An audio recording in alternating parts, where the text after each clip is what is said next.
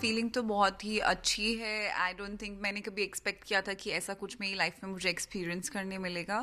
And uh, uh, हमारे prime minister ने हमें मेंशन किया है इससे ज़्यादा एक्साइटिंग चीज़ क्या हो सकती है like for any citizen of the country तो uh, इसकी जर्नी के बारे में बताइए मतलब from a small town Jammu ji.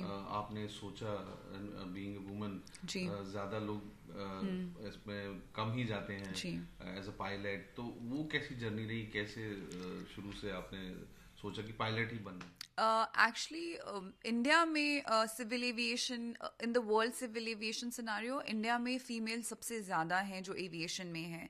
So I think the study is that we have हमारी ये जॉइंट फैमिली स्ट्रक्चर है जो अलाउ करता है फीमेल्स क्योंकि वो घर से निकले और ऐसा जॉब कर सकें। Because outside you have nuclear families and lot of girls aviation में नहीं आती हैं. So surprisingly I like to tell you that India में वर्ल्ड एविएशन के मुकाबले फीमेल्स बहुत ज़्यादा हैं. आई वॉज़ अवेयर कि एयर इंडिया नया सेक्टर खोलने वाली है inauguration flight between San Francisco and Bengaluru so जब कॉल आया मुझे लगा कि ये स्पेशल क्रू uh, है बिकॉज़ ऑल फीमेल क्रू था.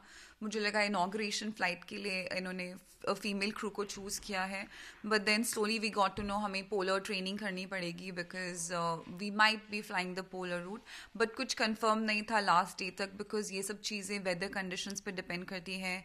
सोलर रेडिएशन कितनी है फ़्लाइट के दिन. सो so ये सब काफ़ी सारी चीज़ें जो डिपेंड करती हैं तो कंफर्म लास्ट मिनट तक नहीं था बट प्रेपरेशन पूरी थी.